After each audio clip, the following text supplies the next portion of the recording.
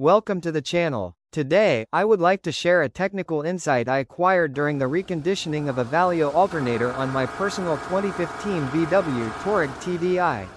This particular alternator features a slip ring that can be installed in two orientations. Incorrect installation, as I discovered through experience, can lead to insufficient charging at idle.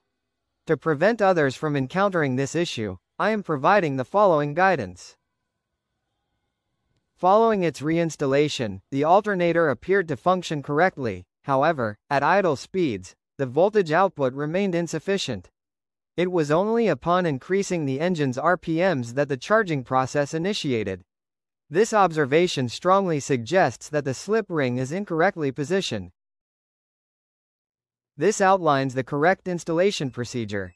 The slip ring has two possible orientations, However, the proper alignment ensures the brush contact points are positioned to allow the alternator to commence charging immediately at idle.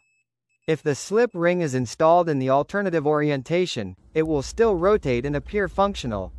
Nevertheless, the rotor field will not energize correctly until higher RPMs are achieved, which explains the absence of charging at idle.